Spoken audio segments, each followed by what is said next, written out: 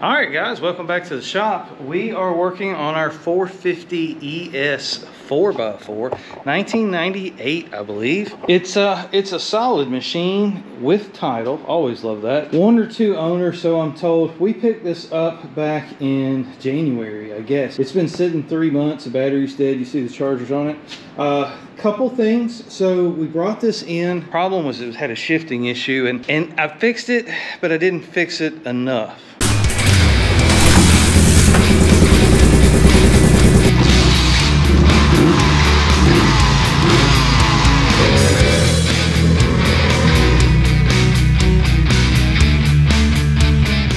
I did a clutch adjustment on it. That did help, um, but it didn't fix it. And so today we're going to do a, uh, a bypass. Is we're going to install some relays. We're going to bypass the electronics, the ECU, if you will, that controls the shifter. It uses the factory buttons. When you get on it, you're not going to know. You're not going to be able to tell. This is not one of those hacks that you know you got a toggle switch or touching some wires with some tape. We're, we're not doing that. It's actually a kit, and it's actually really cheap. If you've got one of these, they're on eBay. You can pick them up for probably less than twenty dollars. It's just a few basic wires. It's plug and play, no cutting, no splicing, just kind of a, a no-brainer, if you will. What it does is it bypasses the little computer and the, the angle sensor and, and all of that extra stuff that you really just don't need when you just want to shift up and down. Um, so we're going to do that. That's the big thing. Again, this machine, we picked up the flip. I don't have a four-wheel drive. I would like a four-wheel drive but I can't justify another machine, if you know what I mean. So uh, we're gonna let it go. And you know, maybe we'll find another one. Things I look for in this particular year model, these fender flares, they get super, super brittle from sitting in the sun and they're always busted. These are not, these look really good. Uh, they're very expensive if you were to replace them. So if you're looking for one of these machines, always look at the fender flares. These are the original tires from 1998 and they are shot. This one was flat, as you can see. They're dry rotted, they're dry cracked, whatever you want to call them. This one actually, I think, is missing a chunk out of it. I was riding and it shot off a piece of the tread. Uh, the front ones are actually not bad. They're not bad at all. Um, they seem to have weathered better. The tread looks good, but they are a little, little aged. Bumpers, we know a big thing to always look for is bumpers. The bumpers are straight on this machine. You can tell it hasn't been hit by a truck or a train or anything. This aluminum skid plate is kind of a tail. They, if you hit a stump really good, you know, it's going to bend it and you're not going to be able to straighten it out. That one looks really good. It's got a little crinkle on one side. Those plastic uh, lower control arm guards always get broken. There's always a stick that gets shoved between them. Uh, I rode this machine at the test drive no clicking from the axles. I did a hard left, I did a hard right, did several circles, uh, not donuts, but circles. And, uh, and no clicking from the from the axles at all, so that's really good. Differential's nice and clean. I don't see where any oils come out of it. Uh, just, you know, overall headlights, y'all know I'm a big, big fan of the headlights. They get busted out and people don't replace them. So overall, first impressions, though it is filthy, Someone's painted the wheels. This, the black wheels looked good at one time, I'm sure, but all the paint has come off of the wheels. I'm hoping we can get the rest of it off and go back to the original silver. I think that would look good. Um, all the center caps are still in it. So uh, what's it take to get this machine to market? Well, I'm a huge fan of a nice looking seat. We do a lot of upholstery around here and I don't really like upholstery, but it's an easy thing to do. It's not expensive. And uh, if you if you buy a pneumatic stapler, it's it's it's easy. Highly recommend you invest in a pneumatic stapler. Here's the cheapest one off of Amazon. It's like 30 bucks. I've probably done five or six seats with it. We're fixing to do another seat. Every time I do that, it gets a better and better value. So today's project, we're gonna do some upholstery. We're gonna recover the seats. We're gonna install this wiring bypass. It's a seri series of relays. As you see, it's all plug and play. It's all factory connections. It even has terminals at the uh, positive and the negative. It's just, I think I get $14 for this kit, y'all. If this does what it says it does, that's that's a no-brainer. Uh, master cylinders go bad. They are rebuildable, but it's a lot of time and it's and, and you can still have a piston that's scored that's still going to leak and it's going to eat up uh, seals. So this is you know my, my favorite here Maddie uh, I'm sure I'm saying that wrong but we're going to go with it. Now a couple things to look at. Let's compare this one to the one that's on here. It's the same size the lever's the same we can swap the original lever back to this housing if we want to kind of keep the bare aluminum look the factory look it does have this embossing here for a rear view mirror. I know that maybe that's a good you know deal breaker for somebody, but it doesn't bother me. Just don't put a mirror in it. The sight glass is in the front, just like the factory. This is the biggest thing to watch out for is where your line hooks up. There's a lot of them, the line hooks up on the far side. I can't point to it with this one hand. A lot of them hook up over here and that changes the routing of this line. It makes it kind of kick out here kind of funky. So when you're looking at aftermarket master cylinders, make sure your line pickup, your, your attachment point for your hydraulic hose is in the same location. So I really like this one. As you see, it's a very close copy of the original. It does have a provision here for a brake light switch here on the bottom. This does not have it. You can take this off by removing that screw and throwing that in the garbage if you don't want it on there. But 9 out of 10, I'm going to give it a pass. We'll swap the lever over. We'll keep the bare aluminum lever and then that way they still match. So we'll swap out, the angle's a little different too, but these will swap over. So uh, that's a home run there, I think, and, and cheap. I think this was 16 $17 on, on the, uh, the Amazon there. There's a link in the description for all of this if you need anything. Tires. I know they win races. Tires is what wins a race. But they also look good when you can find them. Check these out. Now I picked these up a couple months ago when we first got the machine. Look at that. They're brand new. They still have the nipples on them. They were probably ridden around the dealership parking lot. Now, a couple things you need to know about tires. Not all wheels are the same. These actually came off a Rincon, which means the offset, that's the back spacing, is wrong on these wheels. If you were to bolt these wheels up as they sit, the back tires would be sucked in. And let me show you the, the comparison. Now the front ones would work. Of course, the rears are on the bottom. So yes, they will bolt up. It's the same four on four bolt pattern. It's the same center cap. That's really the same wheel on the inset. But the offset is the distance between the face of the rim, the mounting surface, and the lip here, whether measured on the front or measured on the back side of the wheel. As you see here, we have less than the depth of my finger from the mounting surface to the front edge of this wheel look at the distance on this wheel. This wheel is my finger and another finger. So there's probably a four inch offset here, or here there's about a two inch offset. So if you were to bolt these wheels on as they are, they would suck into the, the machine and they would sit inside about where my hand is in relation to where this tire is. And it just wouldn't look that good. Now, there's a couple ways around that. You could buy some two inch wheel spacers and you can put on the back and kick those wheels out and run them as they are. The tires are the exact same size, front and rear. That's why I bought them. And honestly, when I went to get them, I didn't even pay attention to the offset. I was only focused on getting the tires. I had every intention of putting the, the tires on this machine. When I saw the wheels, I thought, whoa, what a win. These are aluminum wheels. They're only come out on a few models, but they are aluminum. They are not steel. They are super light, and they are super expensive if you had to buy them from the factory. So you could go and spend another $50, $60 on wheel spacers, run these aluminum wheels, and probably gain a little horsepower. And I mean that just because your rolling resistance of steel wheels would be less. Everything else would be exactly the same. Or you can do what I'm going to do. I'm going to dismount these tires. I've got a tire machine. Y'all seen it. We're going to clean up those black wheels. We may paint them black again. We'll see how much of that black comes off. We'll put the new tires on these factory wheels, put them on the machine, and then we'll go to eBay. Y'all know I have an eBay store. Those wheels are $200 a piece just for the wheel new in the box. Now these are not new in the box, but I don't think they were ridden more than just being in the parking lot. As you can tell, they are they're they are just near perfect. So I gave $200 for the entire set of four wheels and tires.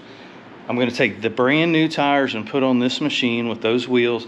I'll take these almost new wheels, I'll sell them for a $100 a piece. I will double my money and put brand new tires on the machine. That's how you do it, y'all. So this machine needed a master cylinder, it had a shifting issue. It definitely needed a seat cover. It's real common. The machine sit out, the vinyl gets, gets, starts to draw up and gets tight and it splits at the stitching. Every time you get on it, it kind of pulls, pulls, pulls off this edge. And uh, as long as your foam is good, like this one is here, you're in good shape. You can build that up with another piece of foam, or you could cover it and build it up with like duct tape and then cover over it. What you want to do is you want to cover up this edge of the plastic seat here, this white you see. And the reason you want to cover that up is because it will cut into the vinyl as the vinyl is pulled over it. I mean, this this cover is is really really tough. It's it's hard as it can be. Very common. They almost all do that, depending on where the, the machine is, is stored. So this is it. We're gonna kind of put this all in one video probably. These are simple fixes that just about anybody can do. And, and it was told to me once, when you have something and little things start breaking, fix them as they break. Don't let them build up. Otherwise you end up with this. You've got an excellent machine that looks like a lot of things are wrong with it, but they're all really kind of penny ante, if you will. They're just nickel and dime little things. All total, we will probably invest two, three, about $300 into the cost that I paid for this machine. It'll be ready to go to market. It will have new master cylinder front, brand new recovered seat, brand new factory original tires, and the shifting issue will be corrected. It's a home run in my book. All right, so uh, went ahead and started doing some disassembly, all the basic stuff you all know how to do. Went ahead and pull the wheels and the tires off. We'll take them into the other part of the building, break them down. But this is how bad those rears were. I mean, they were just good tread, but there's actually a piece of tread missing on one of them, which I think is kind of funny. Um, but yeah, bad. So, four-wheel drive. Look at the mud that's up in here. Yeah, she's been she she's she's been sent deep somewhere, somewhere along the line. Um, but man, this thing runs and drives really good. The axles are in good shape. Things you find. We're gonna clean all this up before we uh, before we send it down the road. Um, you know things like this that are, are buried that are hidden behind a cover pop that cover when you go to buy one look at your electronics look at your engine if they get covered in mud real bad they'll stain. And so uh, you know those are the things that i looked at. But you can't see up under the gas tank or behind the gas tank when you're when you're looking to buy something. But as you see somebody kept it relatively clean. Somebody hit it with the old pressure washer before i came along.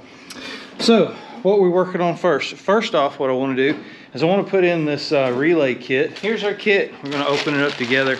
I've never done one of these. The reviews are really good um, there's actually a couple of videos on youtube on putting them in uh, it's pretty straightforward it's two relays and uh, I think part of the problem that Honda was having with this is low voltage. And here's, here's how I determined that. This battery was dead. And before I turned the camera on, I was gonna go ahead and shift it before I put this on. And it wouldn't shift. It, it, it would shift out of neutral and then it would get hung up in first or second. Um, and it couldn't get back to neutral. And I was rocking it and doing all that good stuff. I put the battery charger on it, didn't change a thing hit the hit the shifter and it shifted. So I think low voltage plays a role in why some of these don't shift. Uh, if your battery's weak or old, that probably has something to do with it. But apparently these relays override all of that.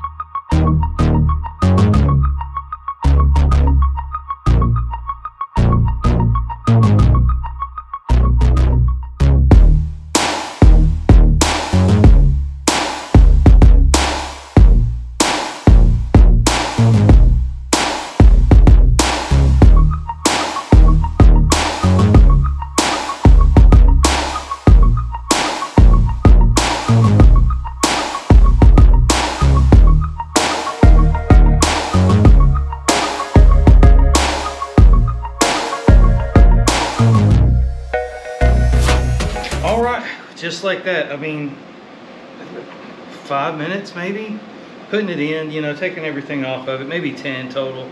So before we button up anything else, um, gonna zip tie the, uh, the harness itself uh, anywhere that I can just to kind of keep it nice and secure, buttoned up out of the way. Let's see what happens. We're gonna turn it on And uh, let's see if it shifts, because that's what it's supposed to do now. It's first. It's en- engaged now. Let's go back to neutral. This is where it would hang up before. Shifted back into neutral. Okay. Back into neutral. I forgot this thing's full-time four-wheel drive. You can spin all the hubs on this one. You got all the traction, which is actually what makes this system very simple. This particular model, a foot shift would have been ideal, but full-time four-wheel drive, if you're if you take care of them and you don't let the axles get all real dirty and bound up, they're not that hard to drive, and you've always got engagement with your four-wheel drive system. But it is certainly a great off-roader. So there we go. There's first.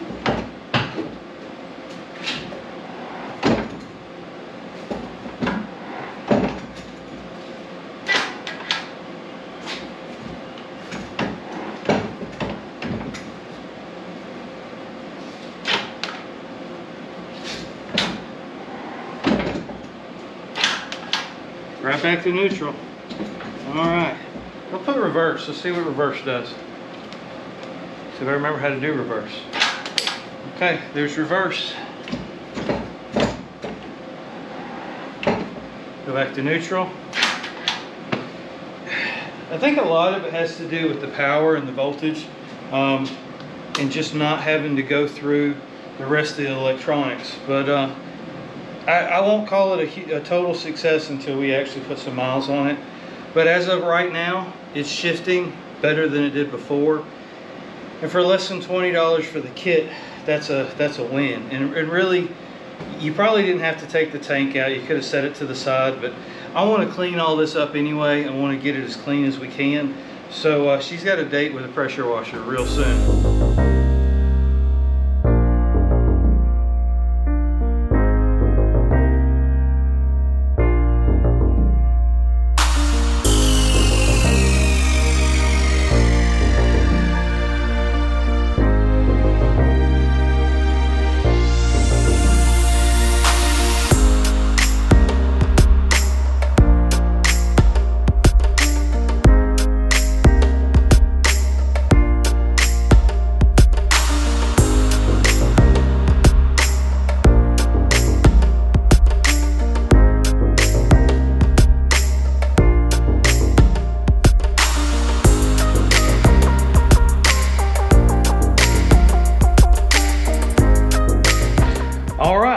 Like that, master cylinder's replaced. I mean, this is nine out of 10 a copy. It's not Honda, but it will certainly work. I did had to, uh, this lever, the, the factory lever was a tad thick for this opening here. I mean, I just took about 10 thousandths off of it and it slid right in. Look, there's no, there's no binding or anything. Um, uh, it matches the original handle. Once everything's cleaned up, it's gonna look really good. Most folks are not even ever gonna notice. The, the real tale on this is this rear view mirror uh, mount. Whatever, it works and it's cheap. So Maddie, I, if you if you're interested in a master cylinder, um, Maddie makes a lot of different styles. They make this style and they also make the one on the 84, uh, which I really like. It's got the clear reservoir on the top. Again, the big takeaways on these is where your output or your discharge is. You want to make sure it's the same as whatever you have. If your output's on the inside of the box here or on the front, as long as you match that up, everything else should go real smooth for you. Next, what we're going to probably do is tackle the seat. We're going to reupholster the seat. We're going to strip that one down, reupholster that. And then I guess we'll mount the tires. And once we do that, then we'll take it out, we'll ride it, we'll test it. And, uh, and if she tests good and she earns it, then we'll give her a really good detail. And I'll probably go in tonight and order some decals for it. Uh, we'll go back factory with this. This machine's going to look great. So the only other thing that, and so what I'll do is I have to crunch some numbers. Everything for me is always a, a it's a business decision more than anything else. Um, the the screen on this is broken. It doesn't light up any longer. It's not a game changer for me. The lights work reverse, which I think is important. Uh, neutral, so you'll know where to start it. And of course, your oil temperature sending unit light uh, needs to work as well and be accurate. So that being said, we'll see. We'll run the numbers. We'll see how much money we've got invested in it. We don't have a lot of time, believe it or not. Maybe a couple hours, which you know is, is no big deal in the scheme of things. Um, if, if we can financially do it and still make a good return on our investment, then I will put a dash in it. We'll do a video on that separately. I just don't have one now and we'll see. You know, fixing machines, whatever it is, it doesn't have to be ATVs. You have to draw a line somewhere. Is it safe to operate? Is it is it still a good value? You can get upside down really quick, nickel and diamond, something like this, making it perfect.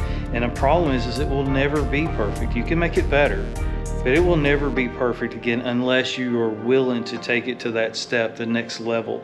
Um, there were some push pins that were missing. There were some that were broken. I've bought push pins. You can get those at Harbor Freight.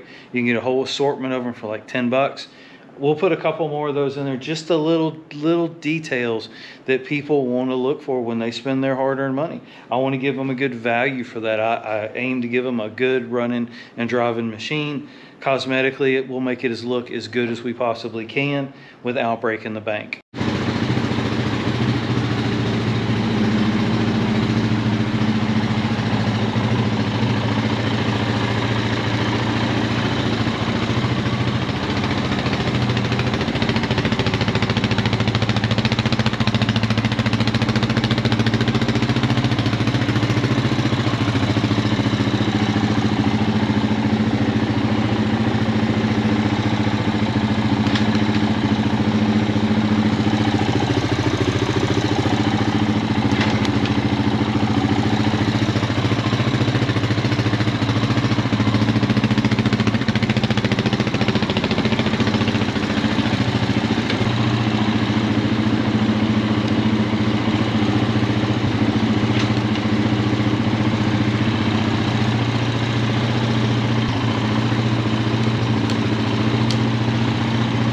All right, so that's a wrap for this video. Uh, Honda 1998 450 ES.